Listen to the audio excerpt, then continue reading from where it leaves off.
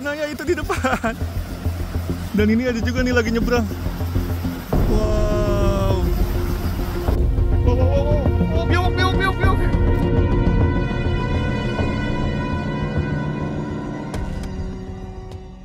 Ya teman-teman, uh, Assalamualaikum warahmatullahi wabarakatuh Balik lagi bersama saya Bang Dinar Hari ini saya lagi jalan-jalan di Ragunan nih teman-teman Dan saya mau ngasih tahu di mana tempatnya buat ngelihat biawak raksasa di Ragunan Jadi tempatnya itu ada di dekat danau uh, Ini Ini danau di Ragunan Dan kalau kalian lihat ke kanan ini pasti ada jalan apa Untuk menuju kandang buaya ya Ini patokannya nih Yang kayak gini kalian yang pernah ke Ragunan pasti udah tahu nih tempat ini jadi di sini uh, kita jalan terus aja teman-teman.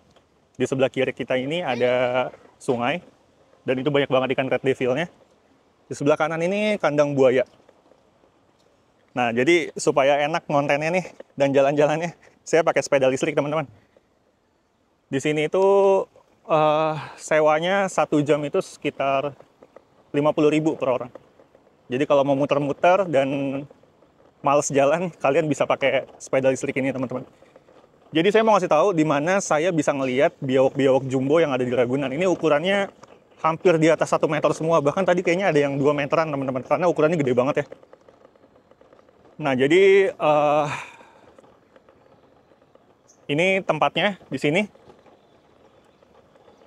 Kita pokoknya lurus terus aja dari yang tadi pertigaan kandang buaya itu kita lurus terus dan nanti teman-teman akan ketemu kandang apa namanya kudanil. Nah di kandang kudanil itu teman-teman ada uh, apa namanya pulau gitu di tengah danaunya dan di, dan di situ biawaknya gede-gede banget.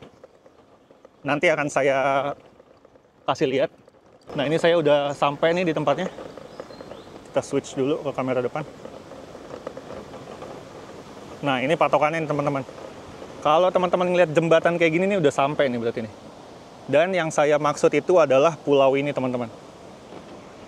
Di pulau ini biawak itu bebas tumbuh, bebas uh, hidup ya, nggak ada yang berburu di sini karena memang dilarang. Dan di pulau-pulau ini, ini pulau ini dan juga pulau ini, itu adalah habitat yang sangat pas untuk seekor biawak berkembang biak teman-teman dan tumbuh besar. Oke, kita akan spill ya teman-teman biawak-biawak raksasa Ragunan. Nah, nah, nah, tuh dia tuh. Ini ada satu teman-teman. Wah, gede banget, cuy. Ini ya teman-teman ya, biawaknya. Asli ini kalau teman-teman ngeliat langsung ini gede banget teman-teman. Wow, dia gede banget. Ini jangan di compare sama teman-teman yang tinggal di Kalimantan, di Sumatera, di Riau gitu ya. Karena saya tinggal di Depok di Jakarta itu udah jarang banget ngeliat biawak segede gini dan dia tuh liar ya. Ya kita lanjut muter-muter lagi di sini uh, sangat banyak sekali teman-teman asli. Ini ada satu lagi nih. Wah, tapi tips dari saya kalau mau ngeliat biawak itu ini jam pagi kan jam 8 jam 9 gini teman-teman lihat aja di sinar matahari teman-teman jadi daerah-daerah mana yang tersorot sinar matahari biasanya biawak tuh ada di situ. Nah contohnya seperti ini nih. Ini mungkin kelihatannya cuma kayak kayu ya, tapi sebenarnya ini biawak nih teman-teman. Lagi berjemur dia.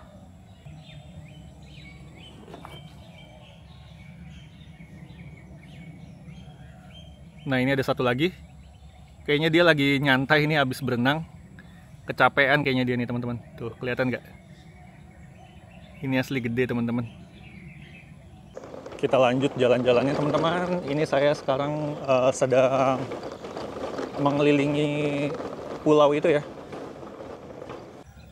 Nah kira-kira teman-teman semua ada yang sama kayak saya nggak? Kalau keragunan itu udah bosen ngelihat hewan-hewan yang ada di kandang, jadinya lebih senang ngelihat hewan yang liar gitu. Kayak misalnya ada burung jalak yang nggak dikandangin tapi tapi kita ngelihat langsung. Atau seperti uh, dalam video ini kayak saya gitu suka ngeliat biawak yang liar. Walaupun ada di Ragunan tapi mereka itu tidak dipelihara teman-teman. Jadi nggak dikasih makan ataupun nggak dikandangin tapi mereka bisa bertahan hidup gitu oke kita lanjut muter-muter ke pulau yang satunya ya teman-teman Ini saya udah selesai ngelilingin pulau yang satu. Dan kita ke pulau yang satunya lagi. Semoga kita bisa ngeliat biawak yang lebih gede-gede lagi, teman-teman.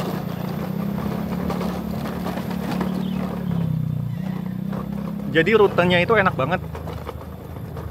Kalau buat teman-teman yang males jalan nih, saya rekomendasiin banget buat nyewa sepeda listrik. Worth it lah, 50.000 kita bisa muter-muter Ragunan.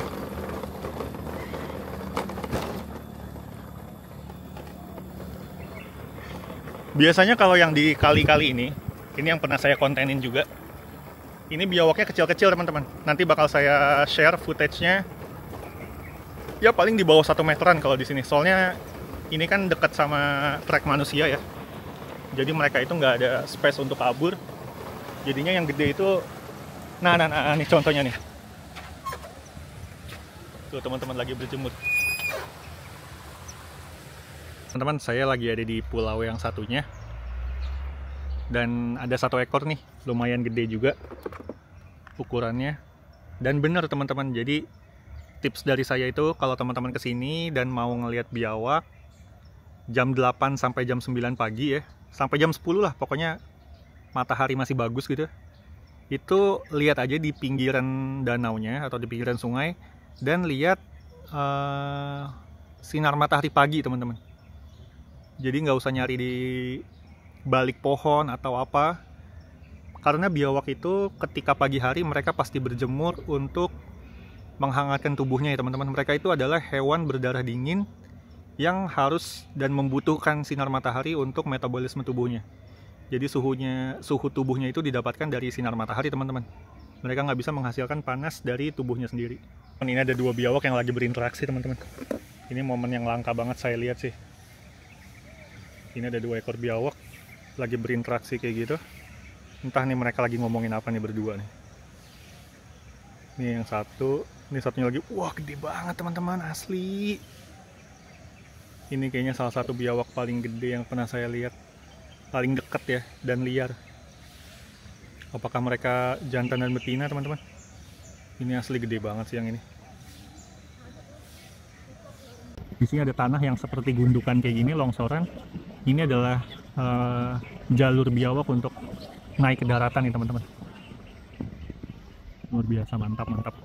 Nah jadi segitu aja teman-teman. Jadi saya cuma nge-share di mana tempat kalau teman-teman mau ngeliat biawak yang gede-gede dan liar dan masih di area Jakarta itu bisa keragunan aja.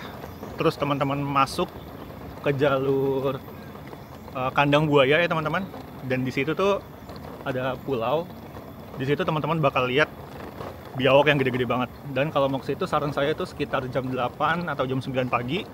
Terus teman-teman lihat di antara uh, semak-semak ataupun tanah-tanah yang uh, disinari matahari teman-teman. Biasanya mereka sedang berjemur di situ.